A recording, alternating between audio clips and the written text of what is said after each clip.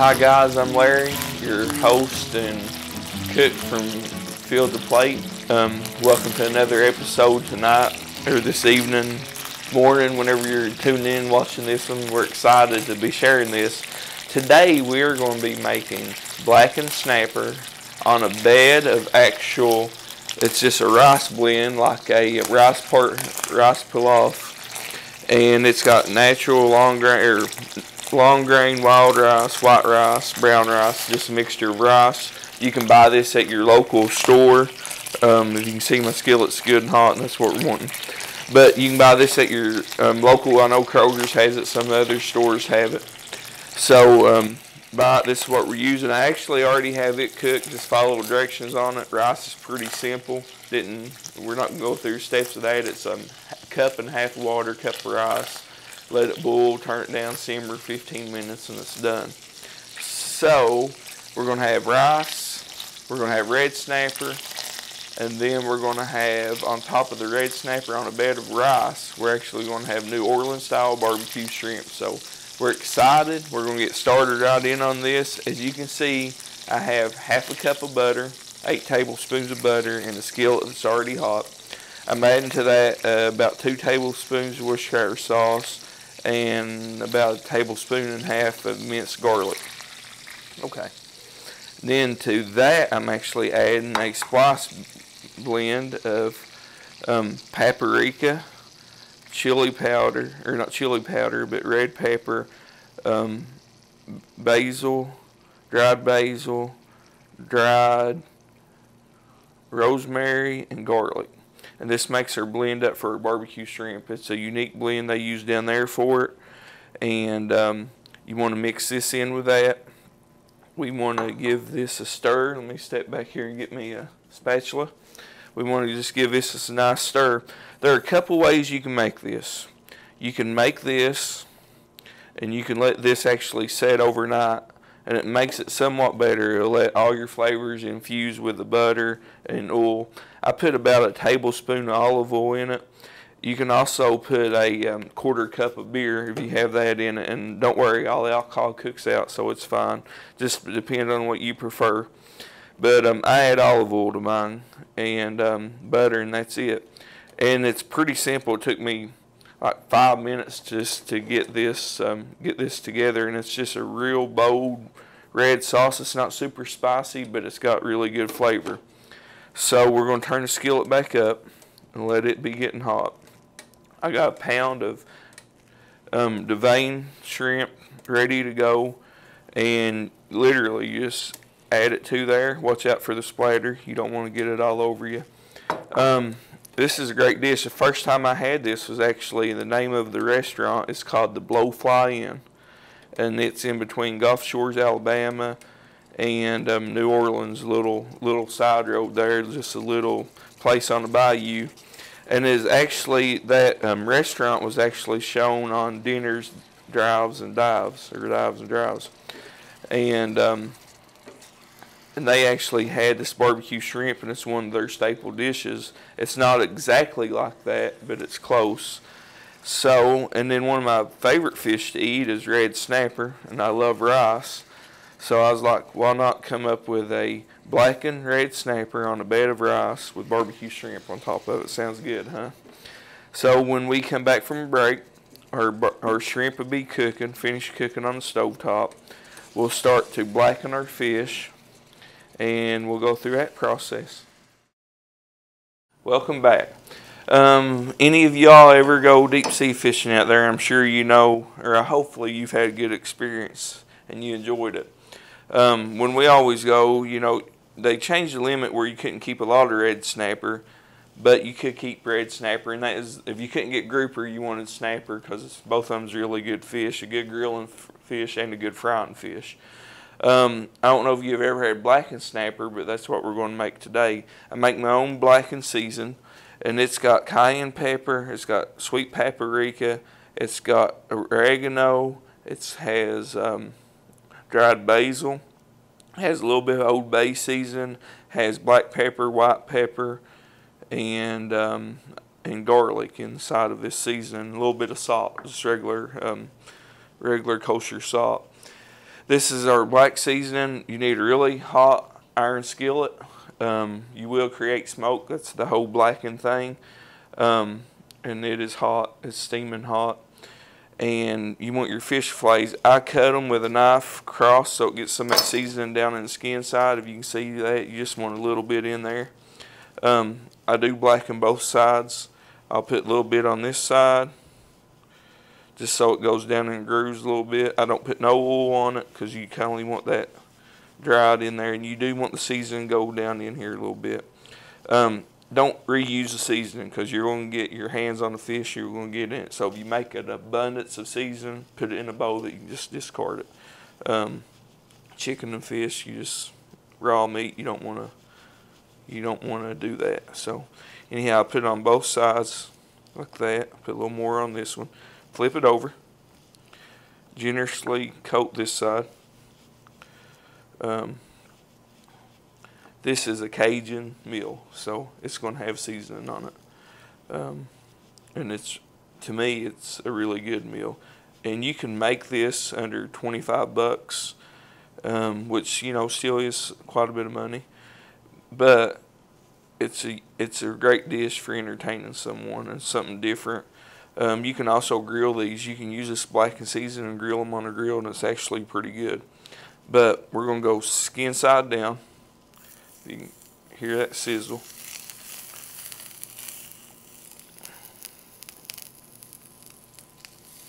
I think I can get all three of them in there. Normally you don't want to crowd it, and I don't. I think we're going to be just fine.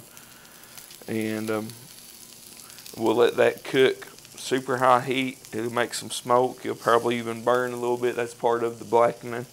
Then we're going to flip them over and do the same thing. When you come back, we'll actually be ready to assemble this dish. Um, I'll show you, I'm going to keep the fish right here, so when you come back, we'll show you the other side, what it looks like, and then we'll show you how to plate it up, and we'll be, we'll be finished and ready to eat. Thanks. Welcome back. We're ready to plate up our um, red snapper fillets. If you can see how well and blackened it is, the backside skin side is blackened. That's what you want. That's why it's blackened, blackened snapper.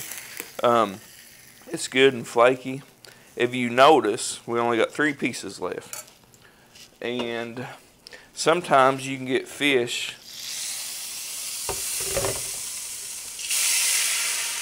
sometimes you can get fish that's like steak. You just get a bad cut. So like I said a minute ago before I put that over in the sink, because um, it was scorching hot, I couldn't, this is real life, I couldn't hold on to it, didn't want to, even when the thing is hot and smoking.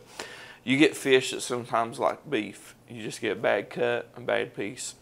And uh, it curled up and is actually really, really tough. Even in Florida, when we get fresh fish, I bought a grouper for party once, and um, one piece ended up like that. So that's some of the things you can look at that, you know, not everything's perfect no matter what quality. So we got two really nice flaky snapper fillets here. If you can see, they're just perfectly cooked and really good. We have it in my family serving dish. This is really old. I got it a long time ago. Normally I'd have this full of rice and I'd have four fillets on it. But we downsized for a show day to two fillets and rice. And I put my rice down, I lay my blackened fish on top of it, and I take my shrimp and I put three or four on top of the fish like this. Try to keep them on top of the fish.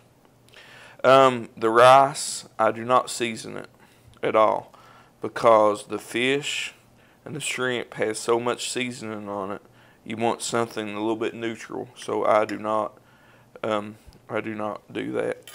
Your extra shrimp, you can kindly just put on each end like this.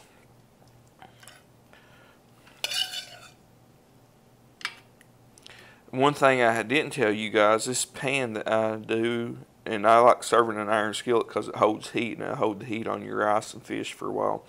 I actually had it in on in the oven at 170 degrees for duration while we was cooking. So when I bring it out, it's hot and warm and it keeps your food warm. Um, you can do that on on several things if you're cooking and you want.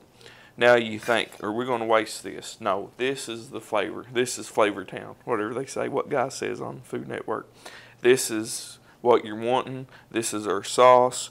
We're going to pour this over the shrimp, fish, and rice like this. Pour it all over. Pour it on your shrimp, around it. And you're good to go. This is a simple dish. Like I said, you could fix this about 25 bucks. You could feed a few people a pound of shrimp, a pound of fish fillets, what it ended up being. Um, the recipe is on the website MTTV. Go and look in there. It's actually blackened salmon, but you can use any kind of fish with it. You can use snapper, grouper, salmon. Um, you can even make this with catfish if you like. Just make sure you get a good, decent thin cut of catfish and you clean it really good, and it's good to go. Um, of course, it ain't going to taste like snapper or grouper, be really good. This brings back a lot of memories for me living in the South, living in Florida, especially when we get to go deep sea fishing, we go out and catch our own snapper. We'd come back and fry. Um, mackerel. If you're fishing, you're on vacation down in Florida and you catch some mackerel, it's super, super good. You cut the steaks of mackerel and you blacken it. It's, it turns out great. Um, we're going to take a bite and try this out. The skin's super crispy too, so that's really too big of a bite. Um, normally I would serve this. And there's a piece of shrimp, don't have a tail on it. Um, hope y'all enjoy and try this recipe out because it is good.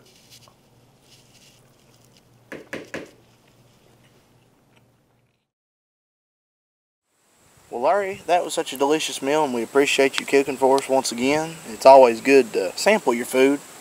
And you know, we're always behind the camera, and we just wanted to come out here and talk to you a little bit about some of your ventures.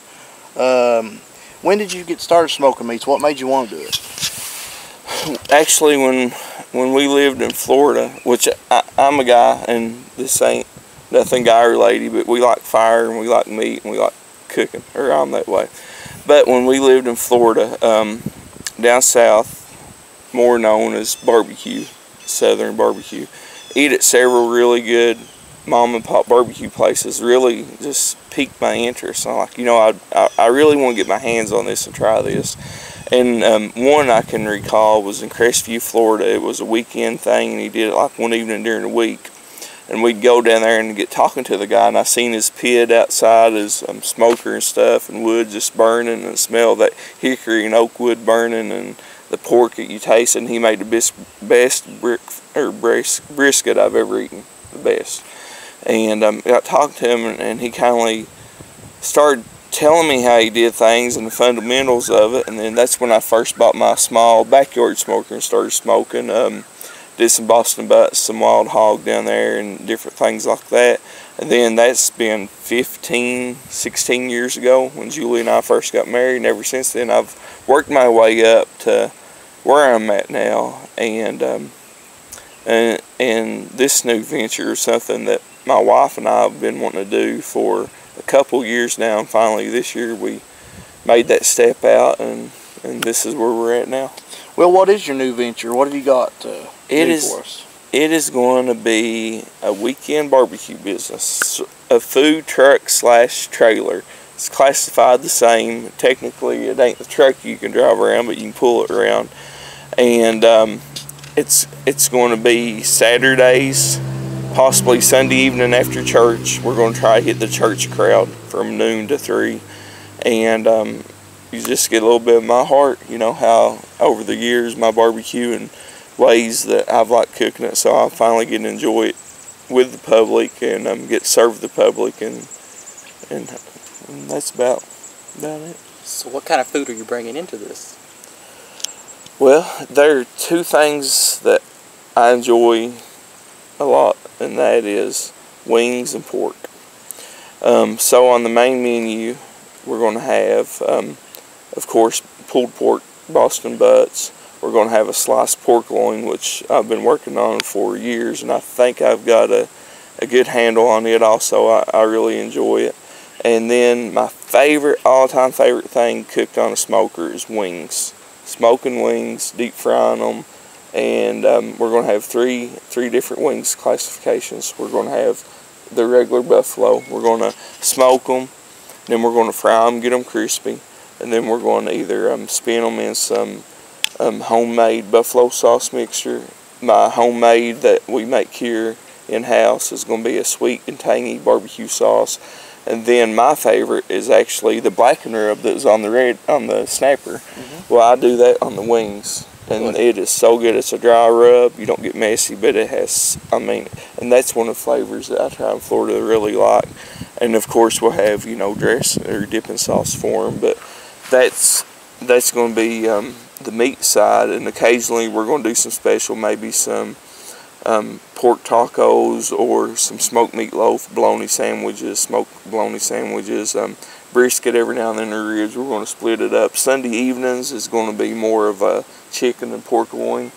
Um, we might have a little um, smoked or little pulled pork sandwiches left that we'll be serving too, but Sunday evening is going to be more of a chicken and just a pork loin type evening. Um, baked beans, coleslaw, and fresh cut fries. We're not going to have no frozen French fries. We're going to cut them fresh to make, fry them, and you get them. You're going to get them like that. That all sounds really great. It sounds delicious. So, are you going to be using any of your local products or garden foods? Um, I'm going to use as much local products as I can use. Um, far as far as meat and stuff like that, garden products. Um, yes, if I can incorporate maybe days we, you know, if we have cabbage coleslaw or smoked smoked cabbage, um, I am going to be serving um, some homemade 14 day pickles with sandwiches. You'll probably get a couple. It ain't gonna be nothing major, but a couple pickles. That's uh, kind of gonna be surprise. The signature is gonna be with the sandwiches, something that no one else hopefully served or done. And um, then of course the barbecue sauce. It's um, it, it's locally made, and so it'll be locally made. And Well, that all sounds great. Uh, where's your first place you're going to set up at? We're going to be set up at Fannon's Produce. Um, Sarah, the owner of Fannon's, um, or one of the owners, and I've discussed this for a year and a half. We're actually going to be set up at her place on Saturdays and Sundays afternoons. I will be setting up later, eventually, at the um, Live on the Licking when we get all of it set up. There's some still stuff there's some working on where not only I, but hopefully all local restaurants and anybody in Morgan County that can come down there, we can set up together and serve the people, and it'll be great.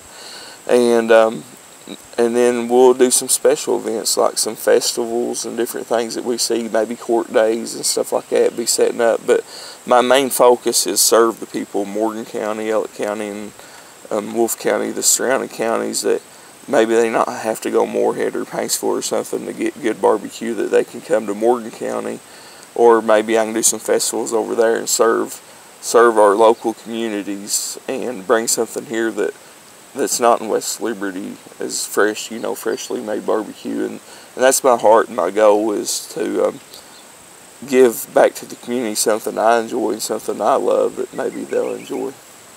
That'd really great.